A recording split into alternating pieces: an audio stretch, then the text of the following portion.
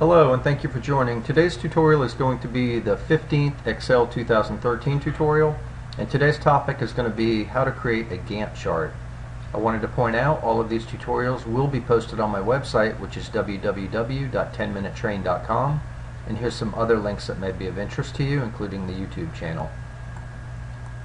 What I'm going to do here, or what I've done here is I've created a list of, a simple list of tasks, five tasks uh, and then I've listed a start date for each one of those tasks and the duration of those tasks. And so what I would like to do is create a nice clean Gantt chart here.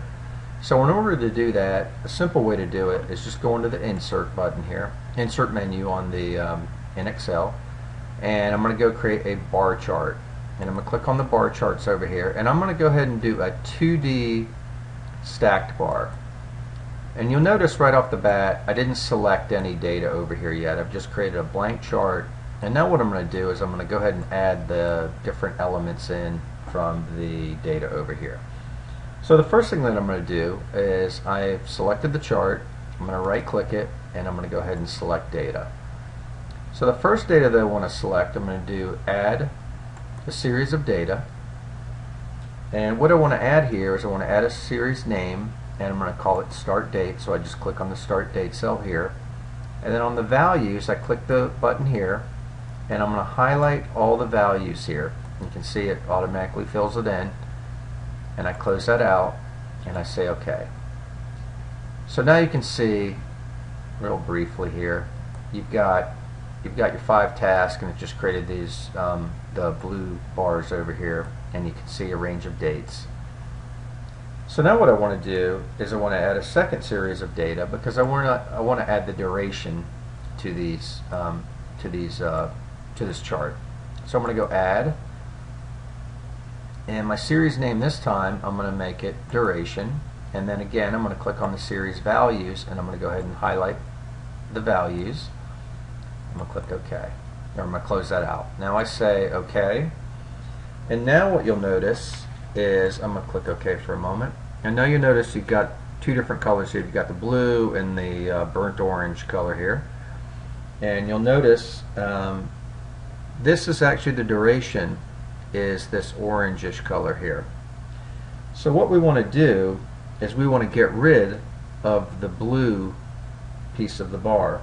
So how we do that, we just click on any of the of the bars and you see it highlights them. I'm going to right click it and I'm going to go ahead and say format data series.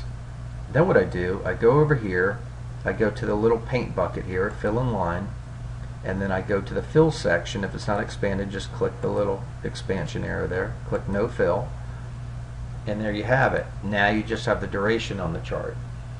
So a couple other things that we may want to do. We're starting to make some good progress here. Close that out.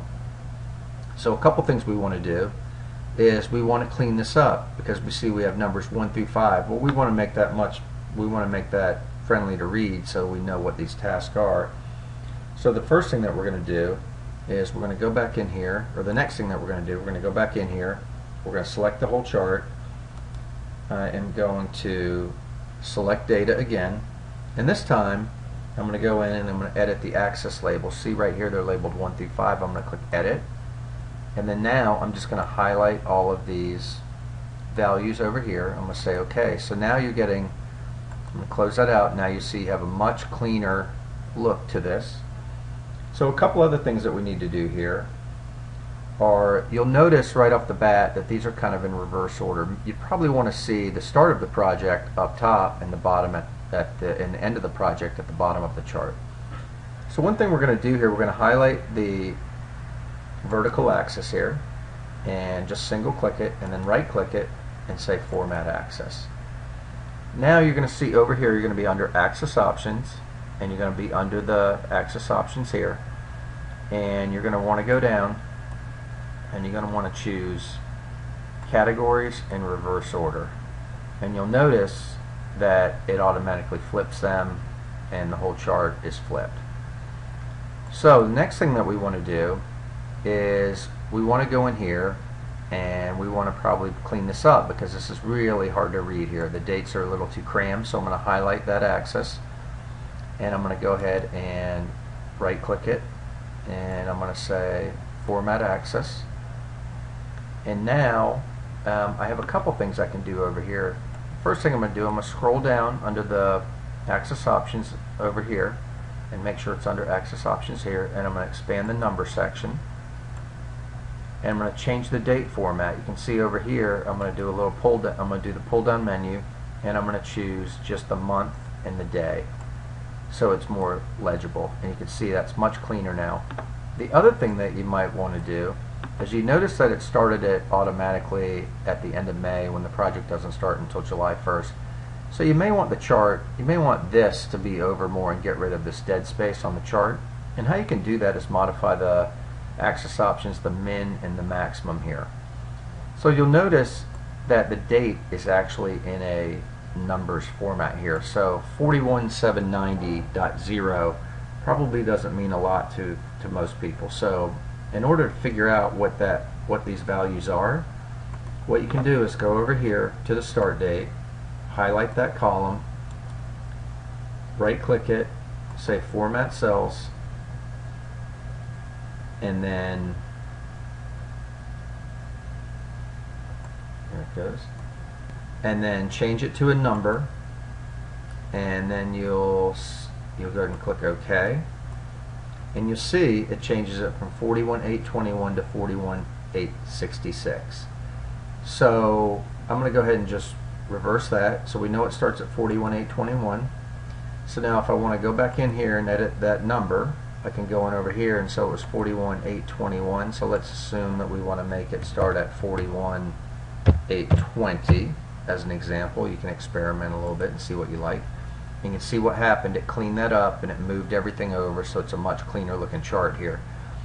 And then finally, um, another thing that you probably want to do is you um, probably want to add a chart title here. So what you can do here, you can go under um, see design and then you can go to add chart element over here on the far left and you can add axis title or sorry chart title and you can do it above chart centered overlay more title options. I'm going to do above chart and we'll call it our project chart